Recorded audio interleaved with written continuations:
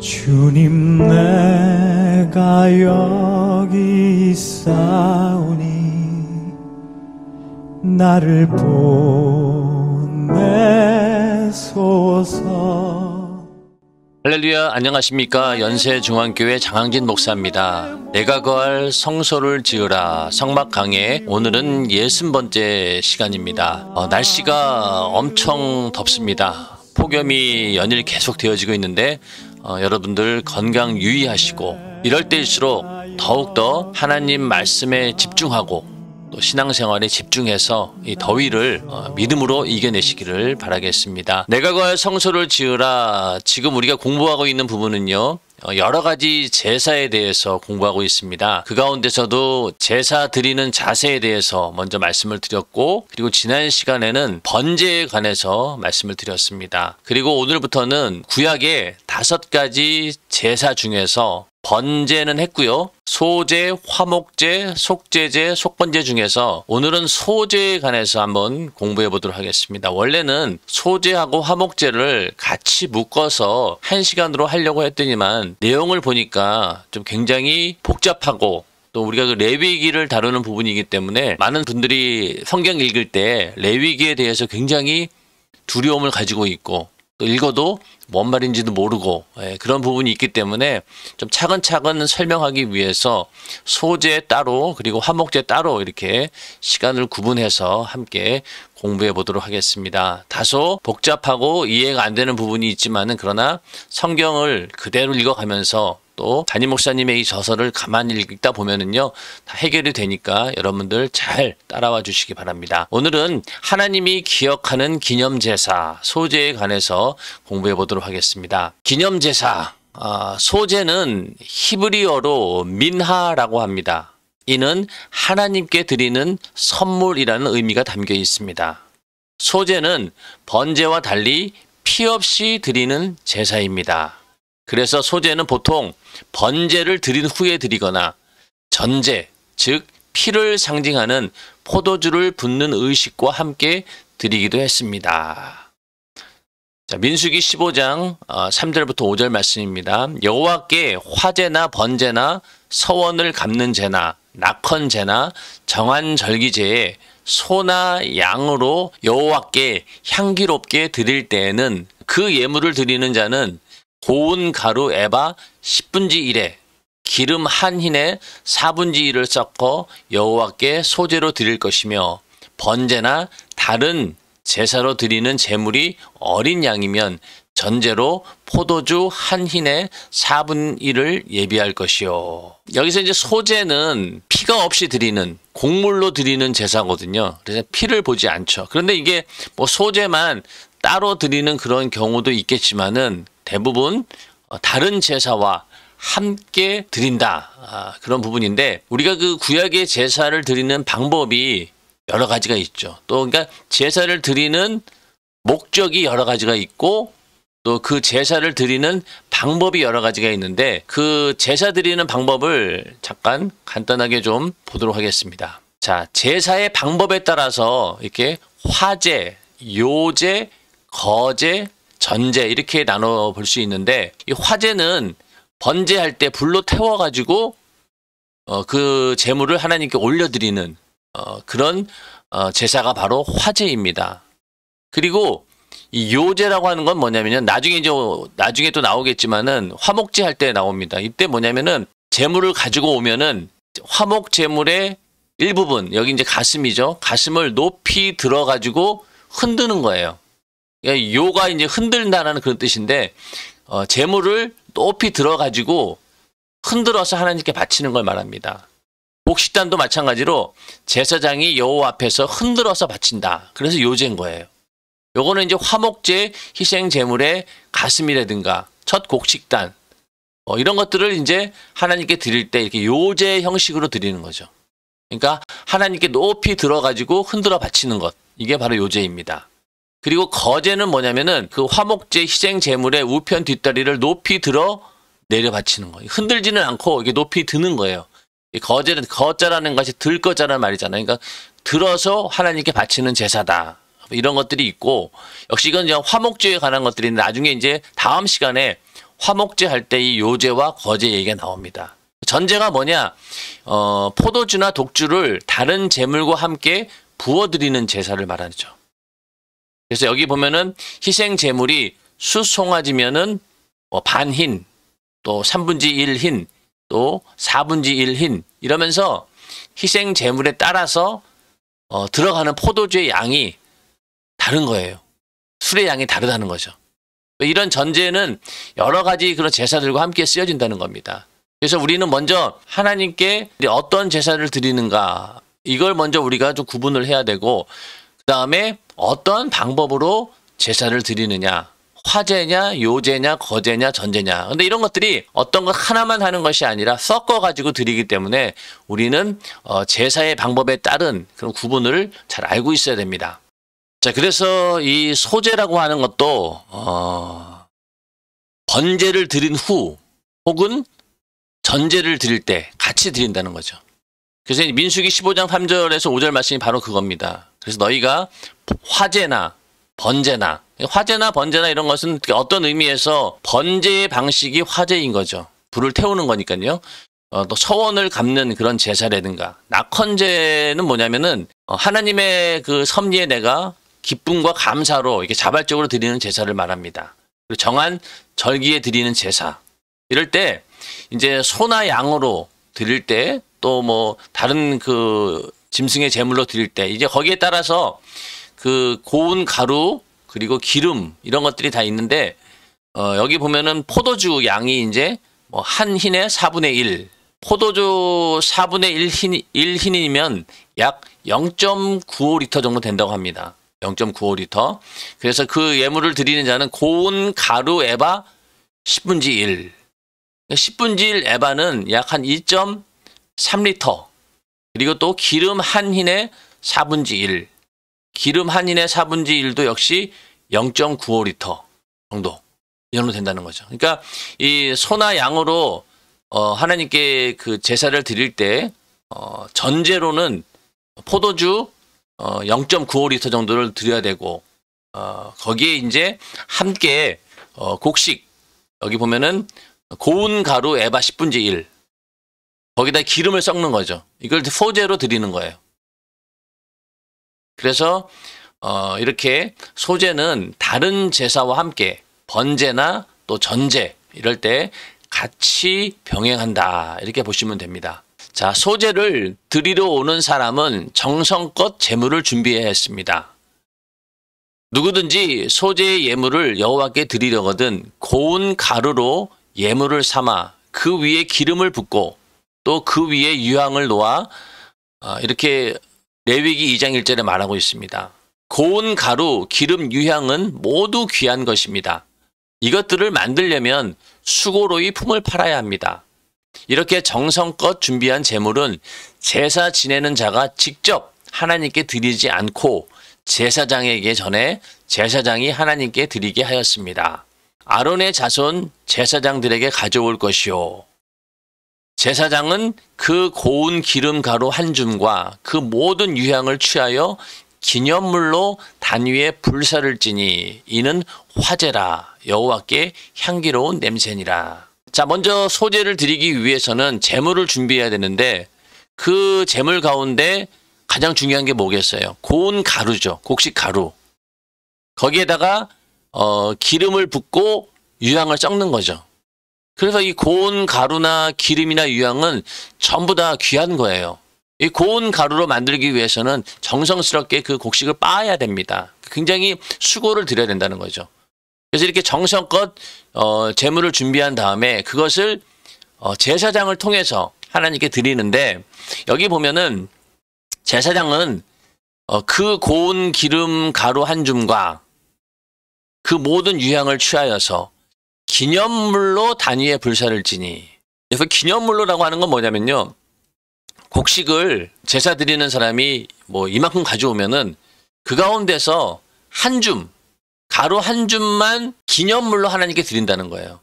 기념물로라고 하는 의미가 이 많은 곡식이 있지만은 그 가운데 샘플로, 기념물로 그 부분만 하나님께 대표적으로 제사를 드린다는 거예요.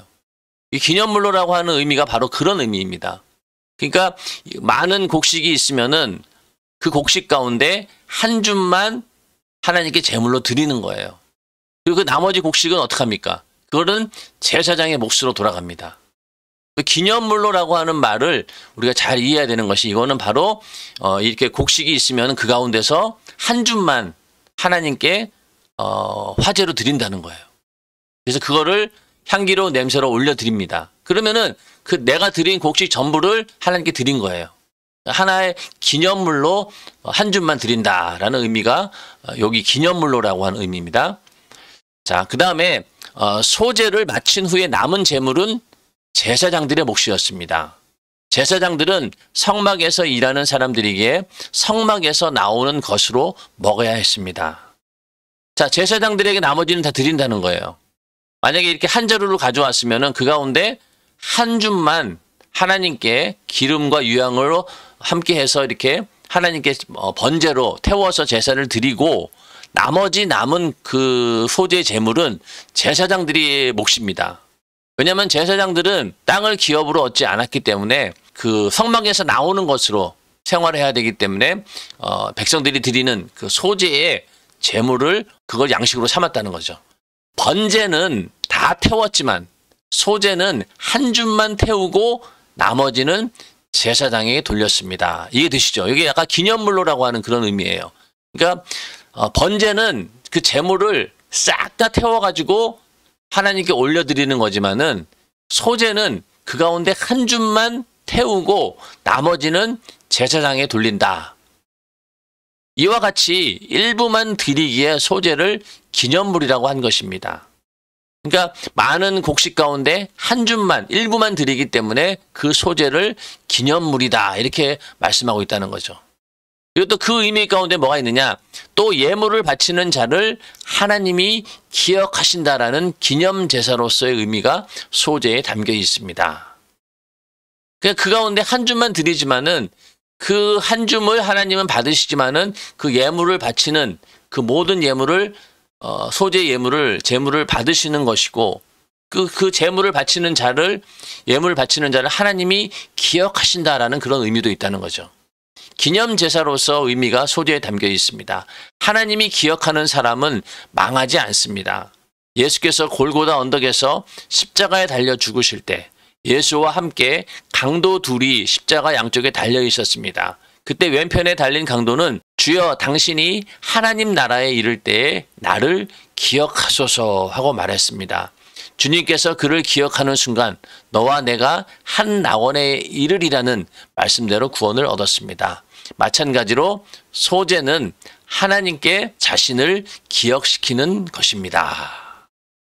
자, 이게 뭐 기념으로 드린다라고 하는 의미 그런 거죠. 그리고 뭐 이 소재뿐만이 아니라 다른 모든 어, 제사도 결국은 하나님께 나를 기억시키는 거죠.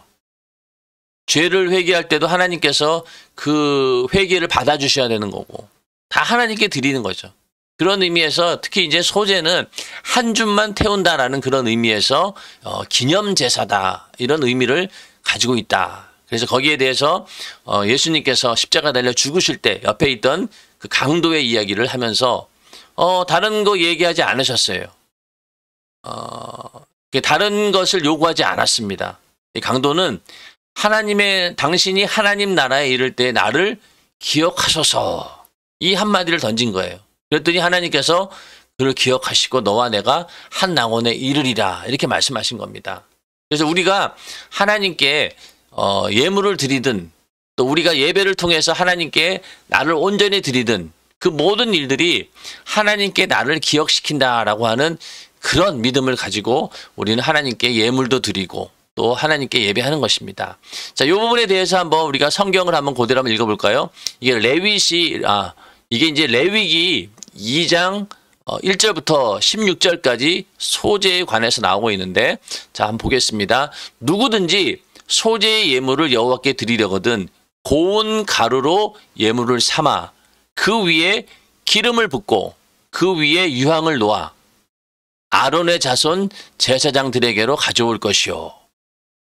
자, 소재 예물이 뭐, 뭡니까? 고운 가루가 먼저 있는 거죠. 거기다가 기름과 유향을 뭐 붓고 이렇게 놓아가지고 같이 이제 그걸 이제 태우는 건데 아론의 자손 제사장들에게 가져 가져오면은 제사장은 그 고운 기름 가루 한 줌과 그 모든 유향을 취하여 기념물로 단 위에 불사를 지니 이는 화제라 여호와께 향기로운 냄새니라. 그, 그 고운 가루를 기념물로 한 줌만 단 위에 불사른다는 거예요. 이해가 되시죠? 그 소재물에 남은 것은 아론과 그 자손에게 돌릴지니 이는 여호와의 화제 중에 지극히 거룩한 것이니라. 자, 소재에 대해서 어떻게 소재를 드리는가에 대해서 어, 성경은 말씀하고 있, 습니다 그래서 고운 가루로 예물을 삶고 기름하고 유향을 함께 섞어 가지고 그 가운데서 기념물로 한 줌만 하나님께 불에 태워 가지고 드린다. 이게 일단 그 화, 어, 소재의 가장 기본적인 제사 방식입니다. 그래서 어, 레위기 2장 1절부터 2절 그리고 기념물에 대한 의미 이해할 수 있겠죠. 성경에서 이 단어가 지금 쓰고 있는 단어가 아니기 때문에 좀 애매한 것들이 많은 거예요. 기념물 그러면은 우리는 이제 이해가 잘 금방 안 되잖아요. 한 줌만 드린다라고 하면 금방 이해가 될 텐데 그걸 기념물로 드린다고 하니까 이해가 잘 안 되는 거예요. 그것만 잘 이해하시면 됩니다. 예. 첫 것을 드리는 제사다. 소재는 처음 익은 것으로 드리는 제사입니다. 어, 너는 첫 이삭의 소재를 여호와께 드리거든 첫 이삭을 볶아 찌은 것으로 너의 소재를 삶되 그 위에 기름을 붓고 그 위에 유향을 더할지니 이는 소재니라. 제사장은 찌은 곡식 얼마와 기름의 얼마와 모든 유향을 기념물로 불사를 지니 이는 여호와께 드리는 화제니라. 자, 소재 가운데는요, 첫 이삭의 소재, 처음 익은 열매, 이것을 하나님께 드리는 거죠. 그러니까 첫 열매를 어, 하나님께 드리는 건데, 그 가운데 이제 첫 이삭, 처음 난 그 곡물, 그것을 소재로 하나님께 드리라는 거예요. 소재. 자, 그래서 이 소재는요, 그 재물을 곡식으로 드리긴 하는데 이게 좀 여러 가지 방법들이 있습니다. 한번 그걸 좀 다시 한번 성경 말씀을 통해 보도록 하겠습니다. 자, 4절부터 보면은요. 내가 화덕에 구운 것으로 소재의 예물을 드리려거든 고운 가루에 기름을 섞어 만든 무교병이나 기름을 바른 무교 전병을 드릴 것이요.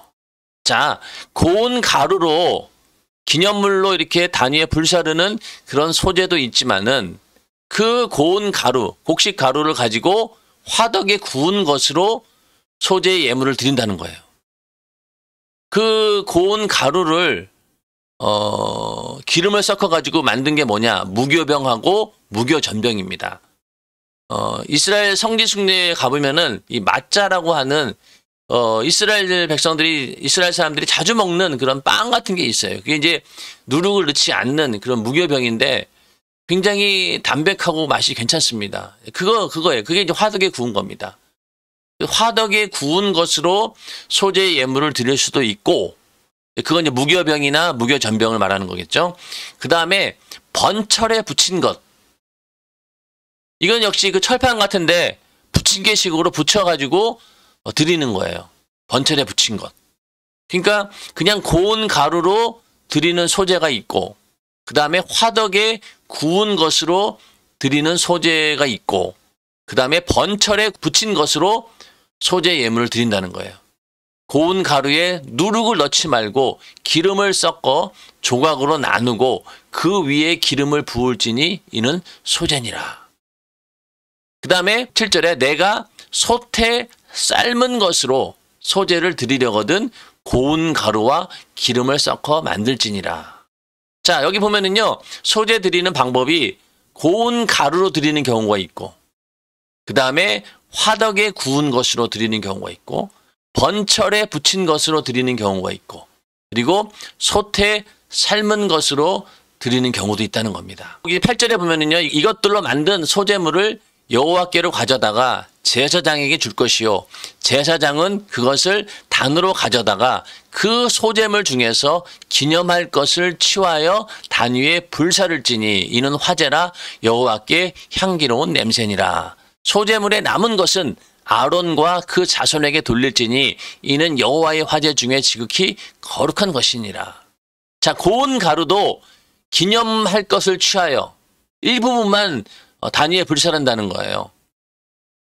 그러니까 고운 가루뿐만이 아니라 화덕에 구운 것이든 번철에 부친 것이든 솥에 삶은 것이든 간에 전부 다 그 중에 일부만 기념으로 하나님께 드린다는 거예요. 그 나머지는 누구에게 돌아간다고요? 아론과 그 자손들에게 돌아간다는 겁니다. 그래서 그들이 그걸 양식으로 삼는 거예요. 그럼 다른 사람이 먹을 수 없어요. 그 다음에 11절에 가서 어, 물은 너희가 여호와께 드리는 소재물에는 모두 누룩을 넣지 말지니 너희가 누룩이나 꿀을 여호와께 화제로 드려 사르지 못할지니라. 그러니까 소재물에 누룩을 넣거나 꿀을 넣어가지고 화제로 드리지 못한다는 거예요. 처음 익은 것으로는 그것을 여호와께 드릴지나 향기로운 냄새를 위하여는 단에 올리지 말지며. 그러니까 이 누룩이나 꿀 같은 경우에도 뭐 처음 익은 게 있지 않겠습니까? 그것으로는 하나님께 드릴 수 있지만은 단에 올려서 불에 태울 때는요 거기다가 절대로 이 누룩이나 꿀을 넣지 말라는 거예요. 네. 누룩이나 그러니까 그 번제에다가 올리는 그 재물은 누룩이나 꿀을 넣어서는 안 된다. 그 대신 내 모든 소재물에 소금을 치라. 내 하나님의 언약의 소금을 내 소재에 빼지 못할지니 내 모든 예물에 소금을 드릴지니라. 누룩이나 꿀은 드리지 말라는 거예요. 그래서 누룩은 좀 이렇게 원래 있는 것보다 부풀, 부풀어지잖아요. 꿀도 마찬가지로 맛을 단맛으로 바꿔줍니다. 그러니까 원래 것을 변형시킨다라고 하는 의미에서 하나님께 제사를 드릴 때, 어, 이 누력과 꿀을, 어, 넣지 말아라. 화제로 드리, 드리지 못한다. 이렇게 말씀하고 있는 거죠. 자, 그리고 요거는 이제 나, 나중에 저희가 설명을 드릴 것이고요. 여기 보면은 14절에 너는 첫 이삭의 소재를 여호와께 드리거든 첫 이삭을 볶아 찌은 것으로 너의 소재를 삼되 그 위에 기름을 붓고 그 위에 유향을 더할지니 이는 소재니라. 제사장은 찌은 곡식 얼마와 기름의 얼마와 모든 유향을 기념물로 불사를지니 이는 여호와께 드리는 화제니라. 자, 아까 그 소재를 드리는 방법이 어, 제물의 내용이 화덕에 구운 것, 번철에 붙인 것, 솥에 삶은 것, 그 다음에 첫이삭의 소재를 드릴 때는 뭐, 뭡니까? 첫이삭을 볶아가지고 찌은 것으로 소재를 삼으라는 거예요. 그러니까 소재의 종류가 나름대로 있는 거죠. 고운 가루로 드리는 경우, 화덕에 구운 것으로, 번철에 붙인 것으로, 어, 솥에 삶은 것으로, 그 다음에 첫이삭의 소재인데 그것은 어떻게 하라고요? 볶아서 찌은 것으로 소재를 삼으라고 하는 겁니다. 그러니까 이 소재가 드리는 재물이 어떠냐에 따라서 방법이 여러 가지가 있는 거죠. 그래서 그 가운데 첫 이삭의 소재, 그러니까 처음 익은 곡물을 하나님께 드릴 때는 소재로 드린다는 거예요. 그것도 볶아 가지고 찌은 것으로 소재를 드린다. 이렇게 이해하시면 되겠습니다. 자, 그래서 이 첫 이삭의 소재, 이거는 그, 아, 말씀을 드렸죠. 처음 거둔 그 곡식, 그것을 소재로 드릴 때 어떻게 하라고요? 찧어가지고 어, 찧어서 가루를 낸 다음에 그것을 하나님께 올려 드린다는 겁니다. 화제로. 그래서 이스라엘 백성은 양이 낳은 첫 새끼나 농사를 지어서 제일 처음 익은 것을 모두 하나님 앞에 드렸습니다. 일터에 나가 얻은 첫 소득도 하나님 앞에 드렸습니다. 첫 열매라고 하죠. 해마다 우리 토지 소산의 만물과 각종 과목의 첫 열매를 여호와의 전에 드리기로 하였고 또 우리의 맏아들들과 생축에 처음 난 것과 우양에 처음 난 것을 율법에 기록된 대로 우리 하나님의 전으로 가져다가 우리 하나님의 전에서 섬기는 제사장들에게 주고 첫 열매는 전부 하나님 것입니다. 왜냐하면 이스라엘 백성들이 애굽에서 나올 때 어, 마지막 재앙이 뭐였습니까? 어, 첫 새끼들을 다 죽이는 뭐 사람이든 짐승이든 간에 첫 태생은 다 죽여버린 거예요. 그 재앙으로부터 이스라엘 백성들은 그 재앙을 넘어갔잖아요. 문설주의 피를 발름으로 인해서. 그걸 6월절이라고 하는데 하나님의 진노와 재앙이 넘어갔다. 그것을 기념하기 위해서 이스라엘 백성들은 처음 난 것들을 다 하나님께 드립니다. 오늘날 우리들도 처음 익은 열매를 하나님께 드리죠. 직장에 나가가지고 맨 처음 직장에서 얻은 소득을 하나님 앞에 드립니다. 뭐 일반 세상 사람들은 처음에 월급 타면은 부모님 내복 사드린다고 하잖아요. 예수 믿는 우리는 뭐냐면은 하나님께 내가 처음으로 얻은 직장에서 얻은 그런 소득을 하나님 앞에 첫 열매로 드리는 겁니다. 이게 똑같은 의미인 거예요. 그러니까 이스라엘 백성들은 곡식도 그렇고 또 짐승도 그렇고 처음 나온 것들은 전부 다 하나님께 드리는데 그것이 하나님께 드리지만은 결국 그게 어디로 가느냐 제사장들에게 준다는 거예요. 그러니까 제사장들은 첫 열매를 가지고 그것을 양식을 삼, 삼는 겁니다.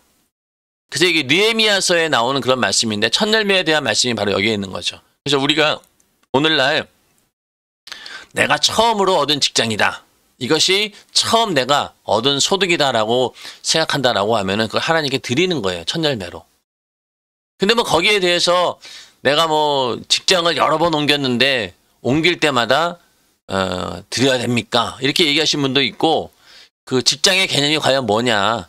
어, 아르바이트로 한 것도 첫 열매를 드려야 되느냐? 뭐 이렇게 얘기를 하는데 글쎄요, 어, 이 농사를 지어 가지고 처음 거둔 곡식이기 때문에 자기 각자 믿음에 따라 다르겠지만은 처음 직장을 얘기하는 거죠. 내가 정말로 아 여기서 내가 일을 해서 어, 노동을 해서 얻은 대가다.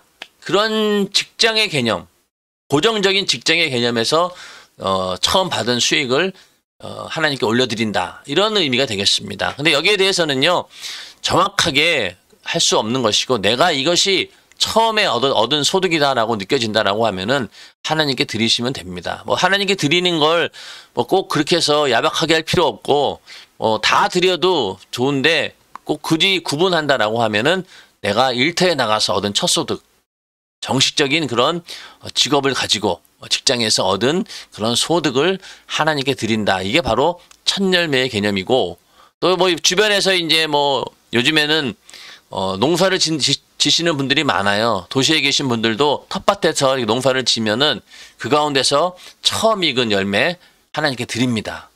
가져오시는 분들이 있어요. 예. 자, 하나님께서는 이스라엘 백성이 첫 것을 드리는 것을 경시할까봐 소재를 통해 드리라고 명령하셨고 이것을 제사장들에게 주라고 했습니다. 짐승을 잡아 드렸던 다른 제사와는 달리 소재를 식물로 드린 것은 식물만큼 첫 열매라는 개념이 확실한 것도 없기 때문입니다. 대부분의 곡식은 짐승과 달리 한 해에 한 번 열매를 맺습니다. 그만큼 소중한 것을 드리는 것입니다. 자, 이스라엘 백성들에게 처음 것을 첫 열매 드리는 것을 잊지 않도록 소재를 통해서 명령하신 겁니다. 제사의 형식을 통해서 명령하신 건데 어, 이 그 식물은 첫 열매의 개념이 확실해요. 그쵸? 그해 한 번에 한 번, 한 해에 한 번 열매를 맺기 때문에, 아, 오늘 우리가 이 농사 짓는 곳에서 첫 열매는 너무나 명확한 거예요. 그래서 그걸 드리면 되는 거죠. 또 다음 해에 또 열매를 맺으니까. 그 개념이 너무나 정확하기 때문에 그러한 정확한 개념 속에서 첫 열매를 드리라는 거죠. 그래서 소재의 방식을 통해서 처음 것을 드려야 된다. 그래서 우리가 첫 열매를 드린다라고 할 때는 하나님께 이렇게 소재를 드린다라는 그런 믿음을 가지고 우리도 하나님께 그 예물을 드리는 겁니다. 성경은 예수께서 죽은 자 가운데서 살아난 자의 첫 열매가 되셨다고 했습니다. 그러나 이제 그리스도께서 죽은 자 가운데서 다시 살아 잠자는 자들의 첫 열매가 되셨도다. 사망이 사람으로 말미암았으니 죽은 자의 부활도 사람으로 말미암는도다. 아담 안에서 모든 사람이 죽은 것 같이 그리스도 안에서 모든 사람이 삶을 얻으리라. 고린도전서 15장 20절에서 22절 말씀. 예수님께서는 그 부활의 의미가 뭐냐? 잠자는 자들의 첫 열매라는 거예요. 자, 예수님께서 죽으시고 부활하시는 그 순간부터 모든 사람들이 죽었다가 다시 부활할 수 있다는 겁니다. 그러니까 죽은 자의 부활인 거죠. 그래서 우리는 예수 믿는 사람들은 예수님이 첫 열매가 되셔서 부활하신 것처럼 우리도 이제는 그 뒤를 쫓아 예수님처럼 어, 영광스러운 부활에 참여할 수 있다라고 하는 것이죠. 그 전까지 아담 안에서 모든 사람이 죽었으나 이제 예수 그리스도라고 하는 둘째 아담, 마지막 아담에 의해서 모든 죽은 자들이 살아나서 부활의 영광에, 영광에 참여하게 된다는 겁니다. 그래서 예수님이 그 부활의 첫 열매가 되신다. 어, 그런 의미에서 첫 열매가 중요하다는 거죠. 예수님도 자기 자신이 부활의 첫 열매라고 말씀하신 것처럼 하나님께서는 이렇게 처음껏 첫 열매를 기억하신다. 그래서 처음 열매 맺은 것. 그래서 하나님이 기뻐 받으신다라고 하는 그런 의미입니다. 또한 하나님께서는 그에게 붙은 자를 받으십니다. 이것을 첫째 부활이라고 합니다. 그러니까 첫 열매 대신 예수님의 그 부활이 있었고, 그 다음에 이 첫째 부활이 언제 있느냐? 예수님께서 이 땅에 강림하실 때, 그때 첫째 부활이 일어나는데, 그때 바로 예수에게 붙은 자들이 어, 부활에 참여하게 되는 겁니다. 그러나 각각 자기 차례대로 되리니 먼저는 첫 열매인 그리스도요. 다음에는 그리스도 강림하실 때에 그에게 붙은 자요. 그 후에는 나중이니 저가 모든 정사와 모든 권세와 능력을 멸하시고 나라를 아버지 하나님께 바칠 때라. 고린도전서 15장 23절부터 24절. 이처럼 하나님은 항상 첫 것을 받으시는 분입니다. 그렇다면 우리도 처음 것이 되고자 하는 소망과 사모하는 마음을 지녀야 합니다. 예수님께서 부활의 첫 열매가 되셨어요. 그 다음에 그에게 붙은 자들이 어떤 자들이냐면은 바로 예수님께서 이 땅에 다시 강림하실 때, 재림하실 때, 그때 부활에 참여하는 자들, 그게 바로 그에게 붙은 자라는 말하는 겁니다. 그, 그때 붙는 자들이 바로 첫째 부활에 참여하는 자들이죠. 그러니까 예수님께서 강림하시는 순간에 먼저는 무덤에 있는 자들이 부활합니다. 그리고 살아서 신부의 믿음을 가진 자들이 산채로 하늘로 끌려 올려 들어가죠. 그걸 이제 휴거라고 하는데 먼저는 무덤에 있는 자들 가운데 신부의 믿음을 가진 자들이 먼저 무덤에서 부활합니다. 그러면서 같이 또 살아있는 자들 가운데 신부의 믿음을 가진 자들이 함께 이 첫째 부활에 참여하는데 부활은 부활인데 이게 바로 첫째 부활인 거죠. 우리는 어떤 의미에서 첫 열매이신 그리스도의 뒤를 쫓아가는 그에 붙은 자들이면서 동시에 인간으로서는 처음 부활에 참여하는 자들이다. 이렇게 이해하시면 됩니다. 그러니까 우리가 굉장히 중요한 거죠. 이 첫째 부활에 참여하는 자가 복이 있다는 거예요. 신부의 믿음을 가진 자들이고 천년왕국 동안 왕노릇하는 그런 자들. 그렇기 때문에 이 첫째 부활에 우리는 참여하려고 해야 된다. 더 나가서 우리는 항상 처음 것이 되려고 하는 그런 소망과 사모하는 마음이 있어야 된다라고 하는 것이죠. 이 첫 것이 되려고 야곱은 뱃속에서부터 형 에서의 발꿈치를 붙들었고 태어난 이후에도 첫 것이 되려고 몸부림을 쳤으며 에서를 속이면서까지 장자의 명분을 얻었습니다. 그 때문에 하나님이 기억하신 바 되어 아브라함의 하나님, 이삭의 하나님, 야곱의 하나님이라 불리는 믿음의 선조가 되었습니다. 이만큼 처음 것은 중요합니다. 야곱은 하나님의 축복이 장자에게 있다라고 믿었기 때문에 태속에서부터 뱃속에서부터 그 에서의 발꿈치를 붙들고 내가 먼저 나오려고 했던 그런 자가 바로 야곱입니다. 결국은 어 에서보다 늦게 나왔잖아요. 그렇죠? 그러, 그러니까 나중에 에서를 속여가면서까지 장자의 명분을 얻었습니다. 그, 그, 그 결과 어떻게 되었느냐? 나중에 가서 아브라함의 하나님, 이삭의 하나님, 야곱의 하나님이 된 거예요. 야곱이란 이름이 들어간 거죠. 굉장한 겁니다, 이게. 그거를 야곱이 물론 하나님의 축복이 크다는 것은 알았지만은 사실 야곱의 인생을 보면은 그가 장자의 명분을 빼앗은 이후로 오히려 어떻게 되었습니까? 인생이 고난이 겹쳤어요. 도망자 신세가 되었고 또 오랫동안 어? 숨어 살아야 되는 예, 그런 존재 아니었습니까? 반면에 에서는 어땠어요? 에서는 야곱이 도망갔기 때문에 그 아버지의 재산을 자기가 다 가졌고 어, 그렇게 해서 어, 풍요롭게 살았습니다. 어떻게 보면은 야곱이 더 비참한 인생인 것 같지만은 그러나 하나님 주시는 축복의 기준으로 봤을 때는 야곱이 훨씬 더 복을 받은 자다. 결국은 아브라함의 하나님, 이삭의 하나님, 야곱의 하나님 그 거기에 자기 이름을 올린 거예요. 이게 얼마나 대단합니까? 그래서 처음 것을 우리도 사모하는 마음 가지고 우리는 이 첫째 부활에 그리스도의 신부로서 참여하고자 하는 그런 소망을 가지고 야곱보다도 더 사모하는 마음을 가지고 이 첫째 부활에 참여하라고 하는 그런 믿음이 있어야 된다. 예, 그런 얘기죠. 자, 그 다음에 고운 가루로 하나가 되라. 소재 제물은 고운 가루로 만듭니다. 이는 장차 하나님의 아들 예수 그리스도께서 이 땅에 오셔서 우리 죄를 사하시기 위해 십자가에서 깨지고 부서져 내 피를 받아 마시라 내 살을 받아 먹으라 하고 말씀하시며 생명의 떡이 되실 것을 예표합니다. 십자가에서 깨지고 부서져 부활의 첫 열매가 되어야 하나님과 예수 그리스도가 하나 됩니다. 또 예수 그리스도께서 십자가에 흘린 피공로로 우리의 죄를 사함받는 순간에 우리도 예수 그리스도와 하나 됩니다. 이렇게 하나님께 드리는 제물이 되려면 나라는 존재가 완전히 부서져야 합니다. 통미랄 같은 내가 다 부서져서 만지면 뽀드득 소리를 낼 정도로 고운 가루가 되어야 합니다.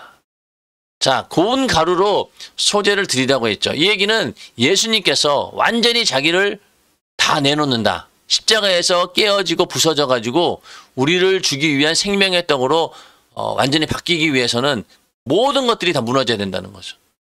그 얘기를 하고 있는 겁니다. 마찬가지로 소재의 제물을 드릴 때도 드리는 자의 입장이 어떤 거예요? 나는 완전히 깨지고 부서져서 이렇게 고운 가루처럼 어디에 섞이든지 다 들어갑니다. 이제는 하나님과 하나가 됩니다. 고운 가루가 되어서 이제 주님과 하나가 되겠습니다. 라는 그런 의미가 있다는 겁니다. 자, 이 얘기는 우리가 성막 전에 아, 공부했던 바죠. 그래서 이렇게 통밀할 얘기도 했던 것 같고, 어, 이렇게 하나님께 드리기 위해서는 완전히 가루가 돼야 된다.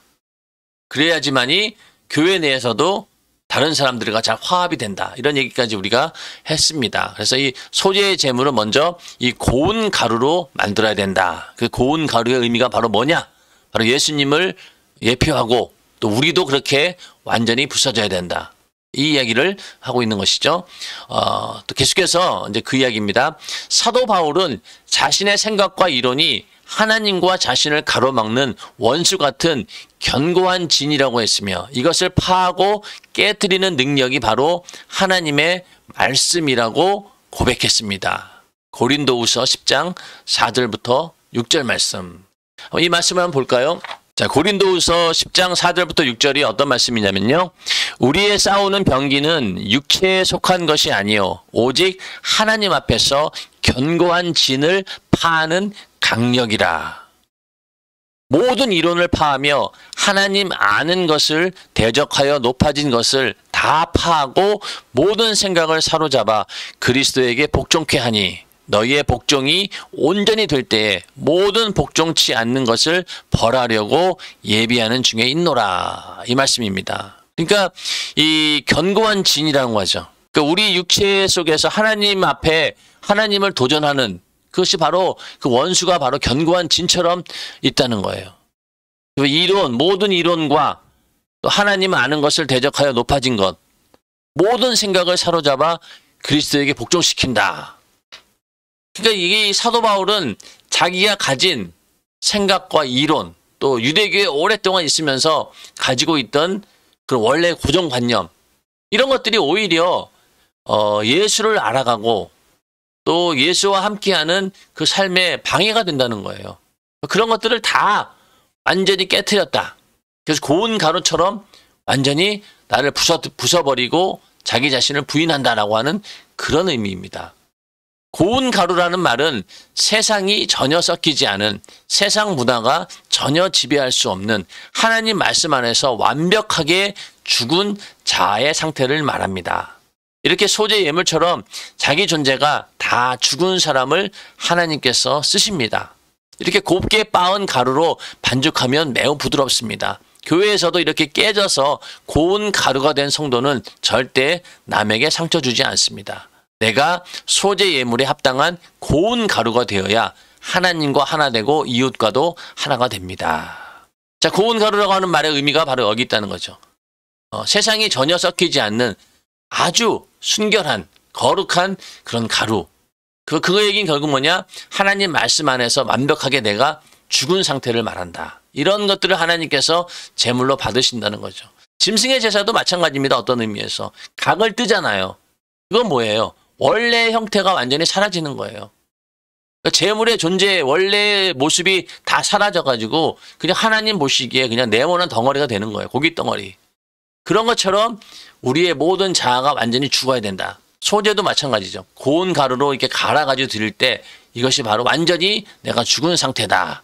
아, 이런, 이런 얘기가 되는 것이고 또 그렇게 내가 고운 가루로 완전히 죽어 있어야지만이 교회 내에서도 불협화음이 없어요. 상처를 주지 않습니다. 왜? 내가 고운 가루니까 어디를 가든 하나가 되는 거예요. 근데 만약에 내가 교회 내에서 다른 사람들과 섞이지 못한다라고 하면은요, 아직은 고운 가루는 아닌 거예요. 그래서 고운 가루처럼 그렇게 쉽게 섞이는 그런 성도들은요, 어디에다 하나님께서 쓰시고자 할 때 다 쓰임 받을 수가 있어요. 뭐 기관장으로, 뭐 구역장으로, 지역장으로, 뭐 교구장으로 하나님께서 원하는 대로 다 쓸 수 있습니다. 그런데 만약에 아, 이 사람을 여기 쓰려고 하는데 아, 이 사람 여기 썼다가는 문제가 있을 것 같습니다라고 한다라고 하면은 그 사람은 아직 고운 가루가 된 건 아니죠. 그래서 우리는 하나님 보시기에 완전히 내가 다 부서져 가지고 아, 어디다 내놔도 어디다가 넣어놔도 화합할 수 있겠구나라는 그런 사람이 돼야 된다는 겁니다. 그래서 하나님과 하나 되고 이웃과도 하나 되기 위해서 우리는 소재 예물처럼 고운 가루가 되어야 된다. 이 말씀을 이 소재를 통해서 얘기하고 있는 거죠. 기름을 섞어 익혀라. 고운 가루가 준비되면 기름을 섞어 소재 제물로 만들어 하나님께 드리는 방법이 성경에 자세히 나와 있습니다. 아까 우리가 읽어봤던 그 부분입니다. 고운 가루에 기름을 섞어 화덕에 구운 무교병이나 기름을 발라 화덕에 구운 무교 전병을 드리기도 했습니다. 기름을 바르는 거하고 섞는 거하고 어떤 차이가 있는지 모르지만 하여튼 이 무교병도 약간의 이제 그 기름이라든가 굽는 방식에 따라서 조금 차이가 있더라고요. 과자처럼 되는 것도 있고 또 이렇게 어 우리로 치면은 뭐라고 해야 하나요? 빵처럼 되는 그런 경우도 있고. 그래서 그런 걸 의미하는데 하여튼 뭐 그런 식으로 또 화덕에 구운 무교병이나 무교전병을 드린다. 또 고운 가루에 기름을 섞어 번철에 붙여드리기도 하고 또 소태 삶아 드리기도 하고 여기 전부 다 뭐가 들어가는 거예요? 기름을 섞는 게 들어가는 거죠. 아, 기름을 섞어야 됩니다. 아무리 고운 가루로 반죽해도 기름을 섞거나 발라서 굽든 붙이든 삶든 셋 중에 한 가지 방법으로 익혀야 하나님께 드릴 소재 제물이 완성됩니다. 하여튼 고운 가루로 반죽이 되어 된다 하더라도 거기다 기름을 섞어 가지고 발라서 굽든 붙이든 삶든 셋 중에 한 가지 방법으로 익혀야지 소재 제물이 완성된다는 거예요.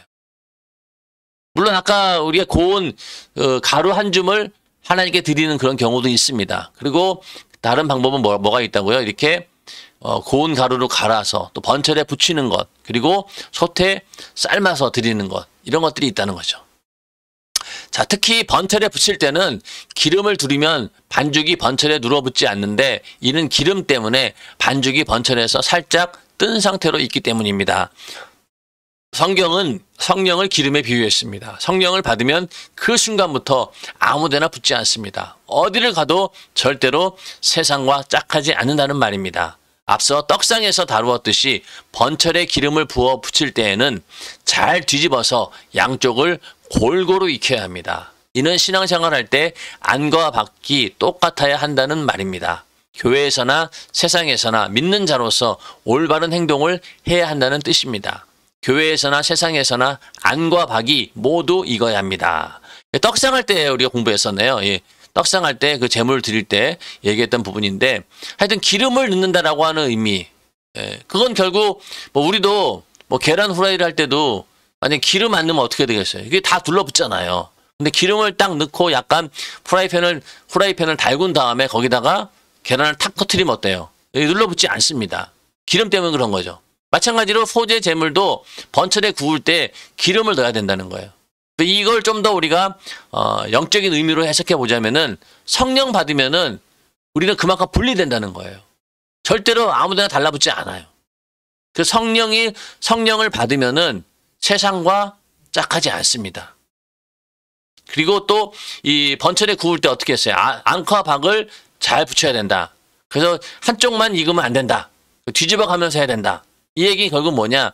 교회나 세상에서나 믿는 자로서 일관성이 있어야 된다는 거죠.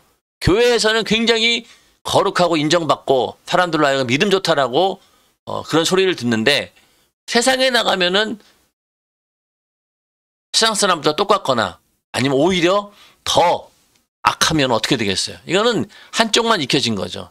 네, 그렇기 때문에 우리는 항상 안과 박이 다 익어 가지고 어디를 가든지 어, 예수를 드러내는 성령으로 드러내는 그런 성령의 사람이 되어야 된다라고 하는 의미가 어, 들어 있는 것이죠. 그리고 소재 재물을 준비할 때는 절대로 반죽에 누룩을 넣어서는 안 됩니다. 자, 아까 우리 읽어봤죠? 성경에서 누룩은 악한 것, 더러운 것, 죄스러운 것을 상징합니다. 누룩은 그것이 들어간 물질을 부패하게 만들기 때문입니다. 그래서 예수 그리스도의 피로 구속함을 입은 성도를 누룩 없는 자라고 말합니다. 또 어, 여기 누룩을 넣으면 안 된다. 자, 이게 이제 그 유대인들이 6월절에 먹는 무교병인데 요런 요렇게 되어 있어요. 이게 빵, 빵 같기도 하고 또 과자 같기도 하고 하여튼 이걸 이게 여기에는 누룩이 전혀 들어가지 않는 그런 빵입니다. 예, 굉장히 맛이 담백해요. 식사 대용으로 괜찮습니다. 또 소재 제물에는 꿀을 넣지 말아야 합니다. 성경에서 꿀은 좋은 의미로도 쓰였지만 그렇지 않은 예도 많습니다. 좋은 예가 뭐가 있겠어요? 젖과 꿀이 흐르는 땅. 좋은 거잖아요. 그런데 한편으로 그렇지 않은 예도 많다. 음녀의 입술은 꿀을 떨어뜨린다. 고 하였고 잠언서 5장 3절 꿀을 많이 먹으면 좋지 않다고 했습니다. 잠언서 25장 27절. 자, 뭐 좋은 점도 있겠지만은 꿀은 달콤한 거잖아요. 유혹의 유혹을 의미하는 그런 의미도 있고 또 꿀을 너무 많이 먹으면 어떻게 되겠어요? 아무리 좋은 것도 너무 많이 먹으면 안 좋습니다. 그 예전에도 어렸을 때 단 거 많이 먹으면 안 된다. 그래서 단 거 먹으면 이빨 썩는다. 이런 얘기 하지 않습니까? 그런 것처럼 아무리 좋은 꿀이라 할지라도 많이 먹으면은 몸에 어, 마냥 좋은 것은 아니란 얘기죠. 예, 그래서 하여튼 누룩도 넣어서는 안 된다. 꿀을 넣어서는 안 된다. 그렇게 말씀하고 있고 그러면 뭘 넣어야 되느냐? 소금은 꼭 넣으라고 하고 있죠. 예수의 맛, 소금의 맛. 하나님께서는 소재 제물을 만들 때 이처럼 누룩이나 꿀을 넣지 않는 대신 소금을 치라고 했습니다. 소금은 음식물이 변질해서 부패하지 않게 보호하는 데 사용합니다. 한마디로 음식물이 변치 말라고 넣습니다. 예수께서 제자들에게 너희는 세상의 소금이라고 말씀하셨습니다. 마태복음 5장 13절. 사실 이 말씀은 예수 그리스도 자신을 소금에 비유하신 것입니다. 영원히 변치 않는 분은 예수밖에 없습니다. 우리는 죄로 말미암아 썩고 부패하여 파산하고 멸망할 수밖에 없는 자였습니다. 그러나 소금이신 주님이 오셔서 우리와 함께 하시니 영원히 썩지 않을 생명이 되었고 영원한 하나님의 나라가 내 것이 되었습니다. 자, 재물에 이렇게 소금을 치라고 한 그런 의미 이것이 어, 예수님 자신이 바로 소금이다. 그 우리가 예수를 믿기 전에는 죄로 인해서 썩고 부패하여 파산하고 멸망한다. 육신을 살다가 죽으면은 영원한 지옥에서 멸망받을 수밖에 없는 그런 썩은 존재, 부패한 존재였는데 예수님께서 오셔가지고 우리에게, 우리에게 그 예수를, 예수의 생명을 주시는 순간 그 예수 자신을 소금을 뿌리듯이 우리에게 뿌리는 순간 어떻게 되었습니까? 우리는 영원히 썩지 않을 생명이 되었고 또 영원한 하나님의 나라가 내 것이 되었다. 이런 변화가 있었다는 얘기죠. 그래서 모든 재물에 소재의 재물에 소금을 치라라고 하는 얘기는 결국 우리 안에 예수의 생명이 있어야 된다고 하는 것이죠. 예수가 있어야지 우리도 우리도 썩지 않고 부패하지 않는다라는 것을 말씀하고 있는 겁니다. 하나님께 드릴 소재 제물에 소금을 쳐야 하나님께서 받으시듯 우리 속에도 예수의 맛이 나야 하나님께서 받으십니다. 어떤 사람을 만나든 예수의 맛을 내야 한다는 말입니다. 주님이 채찍에 맞으실 때 치료의 맛이 나오고 저주 받으실 때 축복의 맛이 나오고 죽으실 때 생명의 맛이 나오는 것처럼 우리도 언제나 이웃을 향해 예수의 맛을 내야 합니다. 바로 이 맛이 소금의 맛입니다. 이 맛을 내는 자라야 하나님께 드릴 소재 제물이 될 수 있습니다. 온 인류에 소금이 필요하듯이 온 인류에게는 예수가 필요하니 우리가 그 예수의 맛을 내야 합니다. 자, 예수님께서 채찍에 맞으심으로 인해서 인류가 질병에서 치료를 받았고 또 저주에 받으심으로 인해서 모든 어, 그 저주가 물러나고 그 생명을 우리에게 주신 것처럼 어, 그렇게 예수님의 생애가 그러했듯이 우리도 이렇게 어, 소금의 맛을 내는 나로 인해 가지고 많은 사람들이 예수의 생명을 얻게 되고 또 예수를 만나게 되고 그런다라고 하면 우리는 그 예수의 맛을 내는 사람들이죠. 소금의 맛을 내는 사람. 그래서 빛과 소금이 되라고 하는 이유가 바로 거기에 있는 것이다. 그래서 우리가 소재 제물 하나님이 받으실 만한 소재 제물이 되기 위해서는 이렇게 어, 소금을 쳐야 된다. 소금의 맛을 내야 된다라고 하는 것을 우리는 이 소재 제물에 소금을 넣어야 된다라는 그 의미 속에서 이렇게까지 우리는 예수의 맛을 내는 그런 사람이 되어야 된다까지 이렇게 말씀하고 있습니다. 민수기 18장 19절에 이스라엘 자손이 여호와께 거제로 드리는 모든 성물은 내가 영영한 음식으로 너와 내 자녀에게 주노니 이는 여호와 앞에 너와 내 후손에게 변하지 않는 소금 언약이니라 하고 말씀하셨습니다. 그래서 하나님 말씀은 선지자의 입에서 나와도 제사장의 입에서 나와도 제자와 사도의 입에서 나와도 오늘날 목사와 성도에게서 나와도 똑같은 능력이 있습니다. 예수 그리스도는 어제나 오늘이나 동일하기 때문입니다. 우리 모두 변치 않는 소금의 맛처럼 변치 않는 예수의 맛을 내는 삶을 통하여 하나님께서 받으시는 최상급 소재를 드려야 합니다. 자, 그 소금 언약이라는 말을 썼습니다. 그만큼 변치 않는다는 거예요.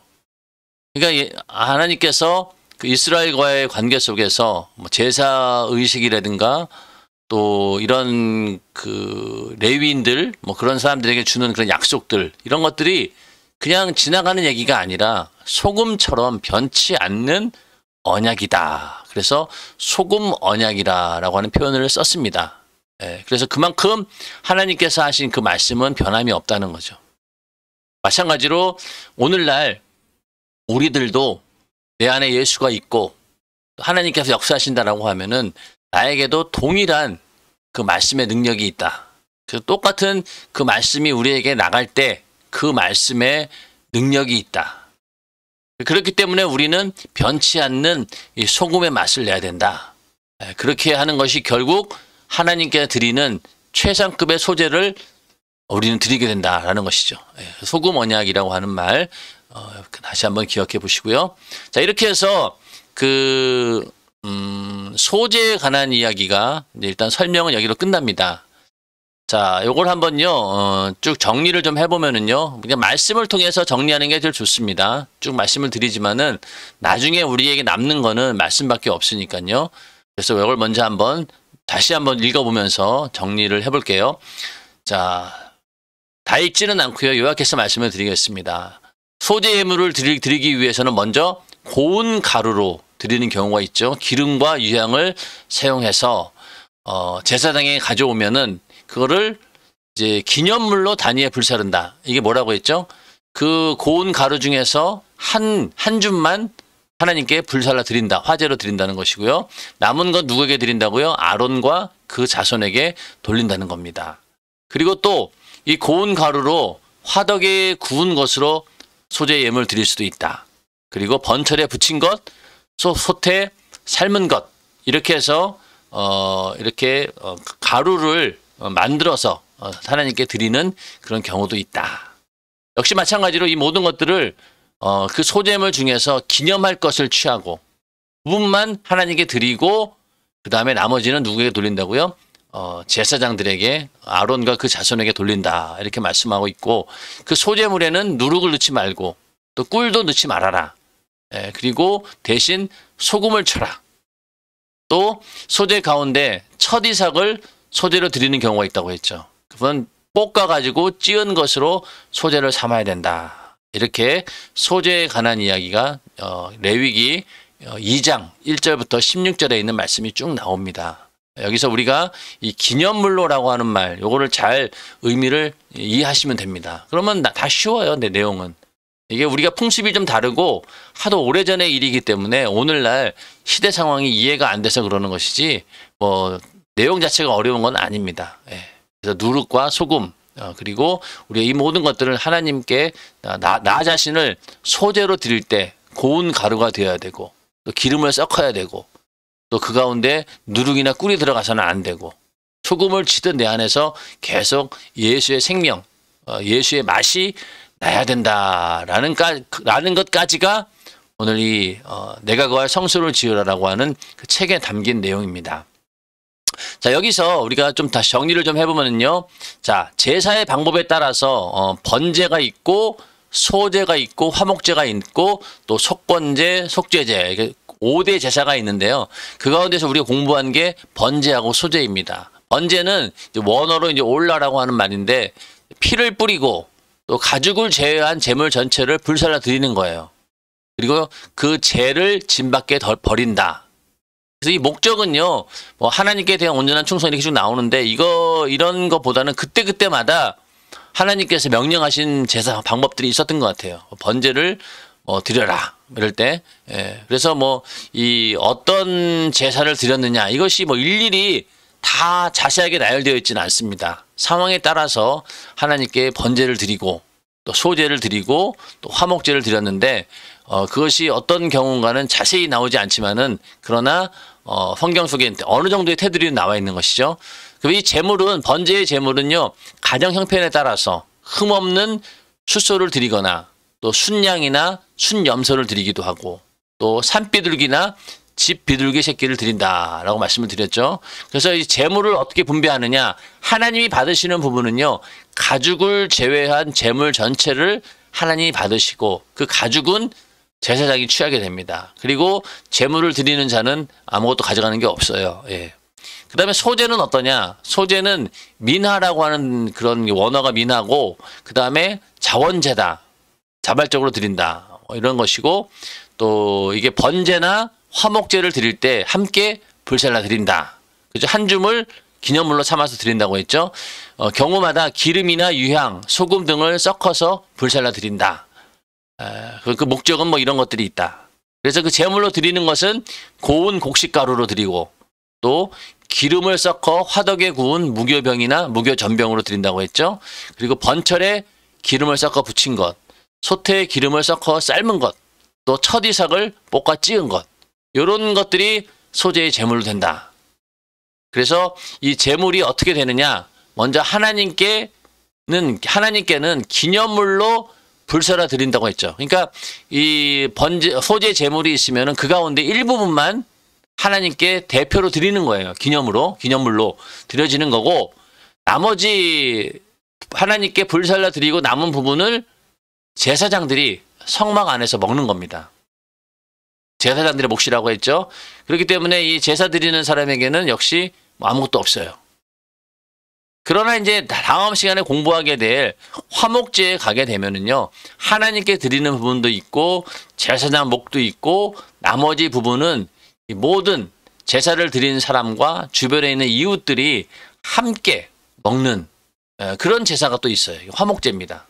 자, 오늘은, 어, 여러 가지 제사 가운데 소재에 관해서 공부했습니다. 내용이 좀 복잡하고 좀 단어가 어려운 부분들은 있지만은요. 어, 그러나 여러분들이 성경을 가만히 또 자세하게 보기만 하면은 별로 어려운 것이 아니에요. 지레 우리가 겁을 먹고 이해가 안 된다고 생각하니까 자꾸만 레위기를 펼쳐보려고 하지 않는데 하나하나 이렇게 따지고 들어가 보면은요. 다 이해할 수 있어요. 그래서 이 내가 그 성소를 지으라 성막 강해를 공부하시는 동안 내가 좀 어, 읽기 힘들었던 그런 성경 부분 레위기 같은 경우도 이제 담대하게 읽을 수가 있어요. 정신 바짝 차리고 보면은요 이해하지 못할 게 하나도 없습니다. 왜냐하면 하나님께서 성경을 주셨다라고 하는 것은요 우리가 이해 못하면 이걸 줄 수 있겠습니까? 안 주죠. 그러나 이해할 수 있기 때문에 오늘날 이렇게 성경을 우리에게 주신 겁니다. 그래서 다른 어떤 것보다 성경을 중심으로 이해하다 보면은요 다 이해가 되죠. 다음 시간에는요 이제 화목제에 대해서 함께 공부해 보도록 하겠습니다. 날씨가 계속 더워지고 있고요. 또 코로나 바이러스가 또 4단계 최고 격상 단계 수준입니다.